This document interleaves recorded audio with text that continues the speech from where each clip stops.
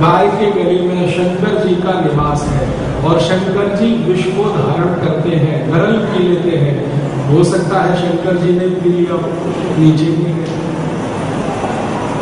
तो आप अपने दिमाग से ये भ्रम निकाल दो कि गाय कचरा खाएगी, कूड़ा खाएगी तो उसके मूत्र को पीने लायक माने कि नहीं। शास्त्र में कहा गया है कि उत्तम मूत्र तो वही है जो गाय जंगल में चरने जाए और घास आदि चारा खाए। वो तो उत्तम है ही। लेकिन आप इसको दिमाग से निकाल दो कि अगर वो कचरा भी खाएगी तो भी आपको तो जहर नहीं देगी। वो खुद जहर ले लेगी, आपको तो नहीं। और हम कुछ व्यवस्था ऐसी बनाएँ कि गाय कचरा खाए क्यों? ये तो हमारा निकम्मापन है, हमारी नाकामयाबी है कि गाय कचरा खाए हमारा निकम्मापन और नाकामयाबी क्या है? हम ध्यान ही नहीं देते। पहले जितना ध्यान दिया जाता था गाय पर, अब उतना नहीं। और हम ऐसे भी काम करते हैं अपने हाथों से कि गाय के लिए कुछ खाने पीने का दे तो पॉलीथिन में डाल के छोड़ देते हैं। अब गाय के शरीर में एक ही कमी है, बाकी कोई कमी नहीं। गाय का मुँह भगवान ने ऐसा बनाया है कि उसमें कोई भी चीज़ अंदर तो जा सकती है, बाहर नहीं आ सकती। जैसे आप कुछ भोजन को अंदर डालो और आप में कैपेसिटी है कि आप उसे बाहर भी निकाल सकते हो। कैसे? उल्टी करके। गाय उल्टी नहीं कर सकती। बस इतनी ही एक कमी है। गाय के मुँह में कोई चीज़ चली गई तो उसको बाहर नहीं निकाल सकते। मुँह की डिज़ाइन ऐसी है। मुँह का उसका बनाने का भगवान ने ऐसा कुछ डिज़ाइन कर दिया है। आप में तो ऐसी विशेषता है कि कोई चीज़ खाई और आपको लगा कि खराब है, तुरंत आप थूक देंगे। या गर्दन तक भी गई तो खींच के निकाल लेंगे। गाय ये नहीं कर पाती। इसलिए आप जब पॉलीथिन में कोई चीज़ डाल देते हैं तो खाने की कोशिश तो वो उस चीज़ की करती है, लेकिन उसके साथ पॉलीथिन चली जाती है। और हम कुछ आज के जमाने के पढ़े लिखे मूर्ख लोग क्या करते हैं कि कोई भी कचरा पॉलीथिन में डालना शुरू कर दिया है और बाँध और देते हैं उसको पॉलीथिन। ऊपर से बाँध। और फेंक देते हैं। अब उसको तो खाना है वो जो अंदर है अब पॉलीथिन को खोले कैसे? तो हमारे निकम्मेपन और नाकामयाबी का सबूत है, गाय कचरा खाए। गाय कचरा क्यों खाए? इस देश में परंपरा रही है हज़ारों साल। हर घर में पहली रोटी गाय की। हर घर में पहली रोटी गाय की। अब जिस देश में हज़ारों साल से ये परंपरा रही हो, हर घर में पहली रोटी गाय की। तो इस देश में 21 करोड़ घर है। तो 21 करोड़ रोटी रोज हो गई कि नहीं होगी और अगर 21 करोड़ रोटी रोज निकल रही है घरों से तो गाय तो भूखी रह नहीं सकती। लेकिन अब ये रोटी निकलना बंद हो गई। घरों से। हमारे घरों में अब ऐसे बहुत सारे घर हैं जहाँ पहली रोटी गाय की अब नहीं निकलती। मुझे बचपन का याद है, पहली रोटी गाय की, आखिरी रोटी कुत्ते की। माने ये गाय है, ये कुत्ता है, ये ये है, ये ये सब हमारे परिवार के ही सदस्य माने जाते हैं। भले वो स्वतंत्र घूमते रहते हैं, लेकिन उनकी ज़िम्मेदारी हमारे ऊपर है। तो हमारे यहाँ है इसी हिसाब से कि पहली रोटी गाय की, आखिरी रोटी कुत्ते की। अब आखिरी रोटी भी कुत्ते की नहीं निकलती है। समस्या पता है क्या आ गई रोटी बनती ही नहीं है। अब तो डबल रोटी आती है। पाव रोटी आती है। कई घरों में तो होटल से आने लगी है। अब होटल से आने लगी है डबल रोटी आने लगी, पाव रोटी आने लगी तो रोटी बने नहीं तो निकले कहाँ से? ज़्यादा पढ़े लिखे लोगों के घरों में ये ज़्यादा है। रोटी बनाने का क्या चक्कर? बनी बनाई आओ ना सब्ज़ी दाल बनाने का क्या चक्कर? बना बनाया ले आओ ना। और घर वाले तो ऐसे परेशान हो जाते हैं, वो कहते, क्या रोज रोज एक ही तरह का खाना एक दिन होटल में जाके खाओ ना? तो जब हम होटल में जाके खाने लगे तो गाय की रोटी कौन निकाले? जब हम होटलों में जाने लगे तो कुत्ते की रोटी को हम निकाले तो गाय और कुत्ते की रोटियाँ निकलना कम हो गई। और ये निकलना कम हो गई तो फिर गाय भूखी रहने लगी, भूखी रहने लगी तो उसको जो मिले वो खाने लगी। तो हमारी गाय कचरा खा रही है, इसमें गाय का दोष नहीं है, दोष तो हमारा हम अपने को सुधारे तो गाय को कचरा खाने के लिए ज़रूरत ही नहीं पड़ेगी एक तो क्या हुआ कि गाँव में जहाँ गाय पाली जाती है वहाँ पहले गोचर भूमि हुआ करती थी, आप जानते हैं। सभी गाँवों में गाय के लिए एक स्थान निश्चित। उसको कहा जाता है गोचर भूमि। ऐसा एक भी गाँव नहीं इस देश में जहाँ गोचर भूमि ना हो।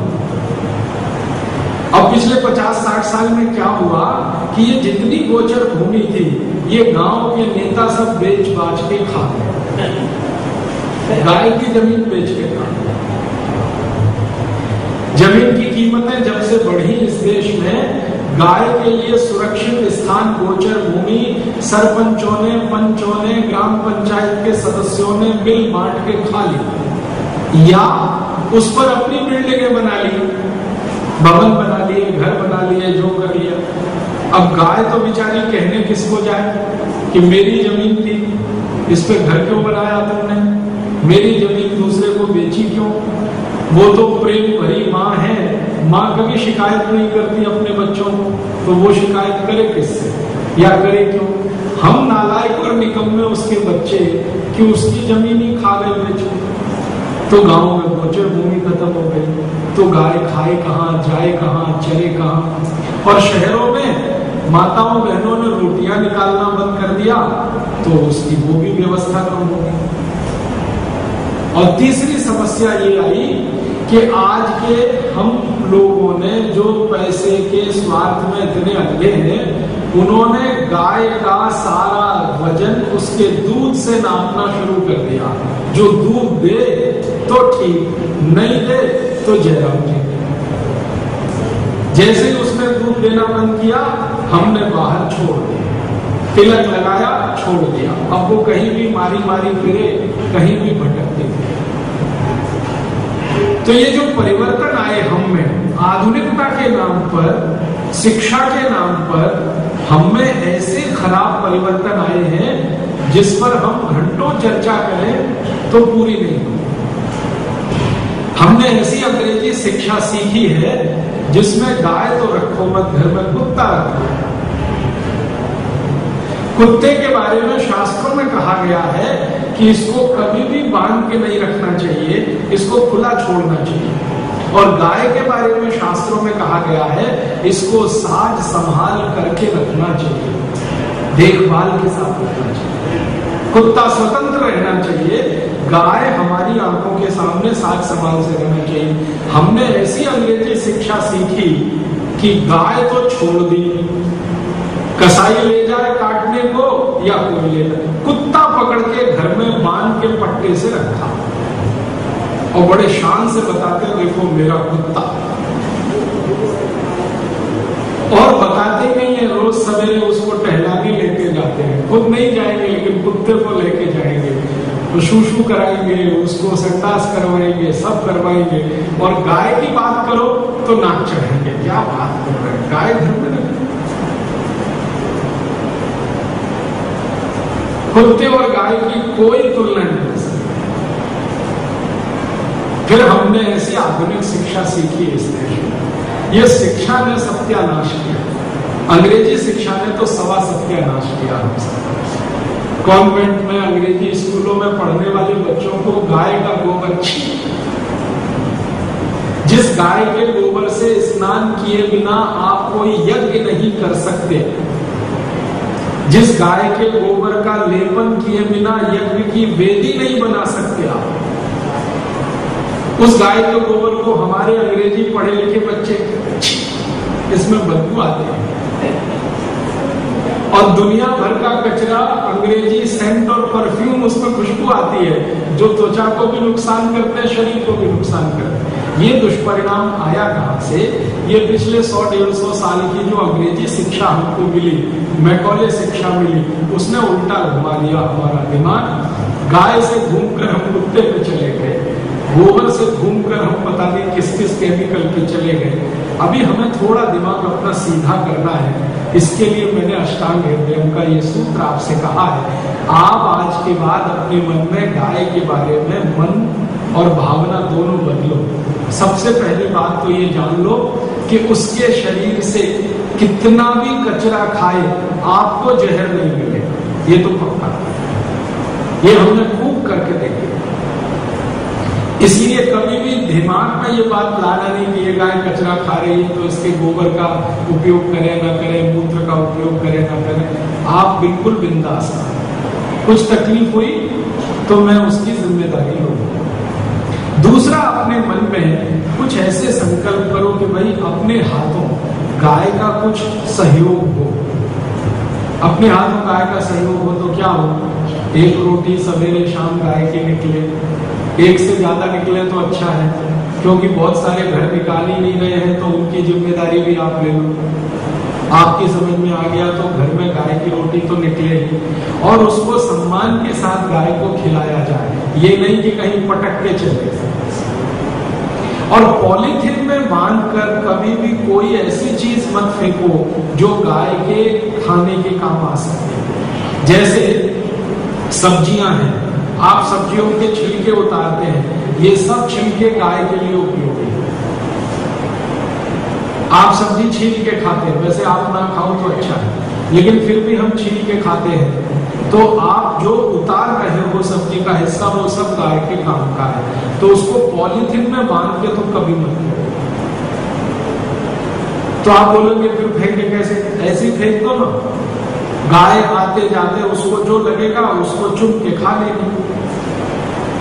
पॉलीथिन तो खत्म करो, बाँध के फेंक दूसरा ये करो और तीसरा नियमित रूप से आपके जीवन में जब भी कोई गंभीर तकलीफ़ आए, वात की हो, पित्त की हो, कफ की हो तो गौमूत्र का उपयोग करो। इससे क्या होगा? आपको गाय के प्रति सद्भावना, उसके प्रति महत्व बढ़ता ही जाएगा। जब आप परिणाम देखेंगे तो महत्व भी समझ में आएगा। तो आप अपने जीवन में बात रोगों से पीड़ित हैं तो पित्त रोगों से पीड़ित हैं तो कफ रोगों से पीड़ित हैं तो गोमूत्र का इस्तेमाल करो। एक ही थोड़ी सी बात कहना चाहता हूँ कि पित्त के रोगी गोमूत्र का इस्तेमाल करें, पानी मिलाकर। वात और कफ के रोगी गोमूत्र का इस्तेमाल करें, सीधा। पित्त के रोगी। पित्त के रोगी माने गैस बनती है एसिडिटी होती है हाइपर एसिडिटी होती है अल्सर हो गया पेप्टिक अल्सर हो गया, पेट में घाव हो गया। इस इस रोग से ग्रसित रोगी अगर गोमूत्र प्रयोग कर रहे हैं तो उनके लिए ये सावधानी है कि वो पानी मिला के करें, उपयोग। और गाय के मूत्र में बराबर पानी मिलाया जा सकता है। और कफ और बात के रोगी जैसे दमा है, अस्थमा है ब्रोंकियल अस्थमा है ट्यूबरकुलोसिस ये सब कफ के हैं सर्दी है, खांसी है, जुकाम है, कफ के हैं तो कफ के रोगी सीधा उपयोग कर सकते हैं। गोमूत्र बिना पानी मिलाए और बात के रोगी भी सीधा गोमूत्र इस्तेमाल कर सकते हैं, बिना पानी मिलाए गाय के शरीर से निकला हुआ मूत्र सीधे उपयोग करना, पीना। अब कब पिए, कितना पिए, आधा बड़े व्यक्ति के लिए। आधा कप माने 50 मिलीलीटर, एक खुराक बड़े आदमी के लिए। और 18 साल से कम उम्र वालों के लिए 20 से 25 मिलीलीटर। और हमेशा गोमूत्र पीने का सर्वोत्तम समय शास्त्र में कहा गया है, सुबह का, खाली पेट, निराहार, उस समय सबसे अच्छा। आप बोलेंगे, जी, बदबू आती है। कोई बदबू नहीं आती। एक दो दिन पिएँगे, फिर उसी में खुशबू आना शुरू हो जाएगी। मैं बताऊँ, ये बदबू और खुशबू मन की एक विशेष अवस्था है। वास्तव में किसी चीज़ में बदबू नहीं है और किसी चीज़ में खुशबू नहीं है। वो मन की एक अवस्था है। मैं आपको जानकारी देता हूँ इसमें आप हंसना नहीं, गंभीरता से सोचना। ये जो पैथोलॉजिस्ट होते हैं ना, पैथोलॉजिस्ट जो आपकी टट्टी की जाँच करते हैं, पेशाब की जाँच करते हैं, वो रोज टट्टी की जाँच करते हैं, बदबू आना बंद हो जाती है। नहीं आती। हाँ आप जिस संडास में टट्टी में बदबू महसूस करते हैं, आपका पैथोलॉजिस्ट उसी को जाँच करता है। उसके नाक के सबसे नज़दीक रहती है। उसको नहीं आती। एक दो दिन आती है, फिर नहीं आती। महत्व की बात क्या है? ये शरीर है जो हर परिस्थिति में अपने आप को एडजस्ट करता है। तो आज एक दो दिन पिएँगे, गोमूत्र में बदबू आएगी, तीसरे दिन से शरीर ने एडजस्ट कर लिया वो बंद हो जाएगी। तो गोमूत्र पीने में बदबू बदबू आती है, ये तो दिमाग से निकाल दो। हाँ ये ज़रूर आप कह सकते हो, थोड़ा तीखा लगता है। एक दो दिन लगेगा, फिर उसके बाद नहीं लगेगा। एक दो दिन लगेगा, उसके बाद नहीं लगेगा। फिर आप पूछेंगे, कितने दिन ले सकते हैं? जो गंभीर बीमारी से पीड़ित हैं, जैसे दमा बहुत गंभीर बीमारी है, अस्थमा बहुत गंभीर बीमारी है स्नोफीलिया गंभीर बीमारी है, जो देर में बीमारी आती है ना, उतनी ही देर में जाती है। ये मोटी बात याद रखना।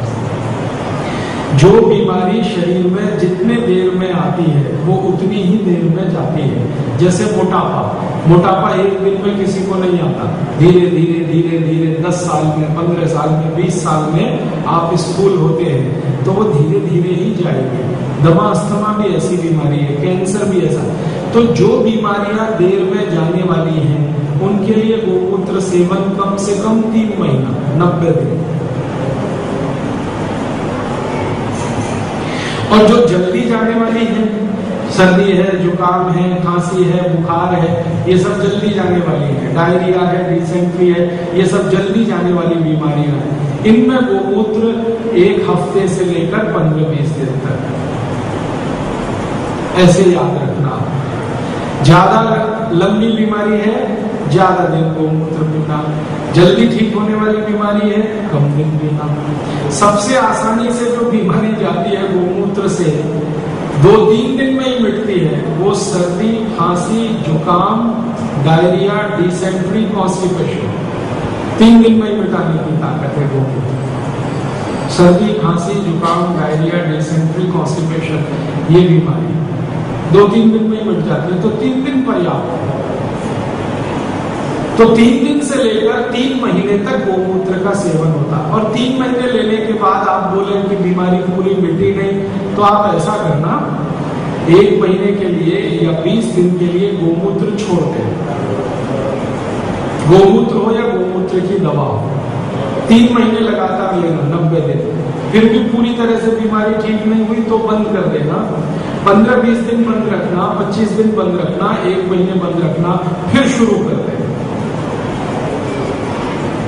देना वो एक बार बंद करके फिर पंद्रह, बीस दिन, पच्चीस दिन सॉरी तीन महीने फिर ले सकते हैं। गोमूत्र के बारे में ये ध्यान रखना, तीन महीने लेकर थोड़े दिन छोड़ना, फिर और तीन महीने लेना, फिर थोड़े दिन छोड़ना। क्यों? छोड़ना इसलिए है कि शरीर को इसकी आदत नहीं लगनी चाहिए। गोमूत्र कुछ इस तरह की आदत लगा देता है जैसे चाय। चाय पीना शुरू किया अब आदत लग गई, अब नहीं पिएँगे तो मज़ा नहीं आएगा। वैसे ही गोमूत्र में होता है। लगातार पिया, अब लग गई आदत। अब नहीं पिएँगे तो मज़ा नहीं आएगा। ये नहीं होना चाहिए। इसके लिए बीच बीच में छोड़कर उसका उपयोग करना है। तो छोड़ दिया पंद्रह बीस दिन, महीने भर के लिए, फिर दोबारा कर लिया, फिर छोड़ दिया, फिर। अब गोमूत्र का उपयोग और गोबर का उपयोग दोनों ही तरह से होता है, आंतरिक और बाहरी। बाहरी उपयोग क्या है? खाज हो गई, खुजली हो गई, दाग हो गया। शरीर में दाग धब्बे हैं, काले, पीले, सब तरह के। इस पर गोमूत्र और गोबर लगाना। कैसे लगाना? गोबर में गोमूत्र मिलाना और लगाना। लगा के थोड़ी देर 10-15 मिनट सूरज की धूप में रखना, फिर उसके बाद धो देना। बाहरी उपयोग। सब तरह के खाज खुजली, दाग, सब सब सब मिटा देना। और आंतरिक उपयोग है। वो पीना है। गोबर का रस भी पिया जाता है गोमूत्र भी पिया जाता है। लेकिन आप सभी बीमारियों में खाली गोमूत्र पीते रहे। एक या दो बीमारी है जिसमें गोबर का रस पीने की ज़रूरत पड़ती है, बिना उसकी वो ठीक नहीं होती। वो बीमारियाँ अक्सर गर्भवती माताओं में होती है।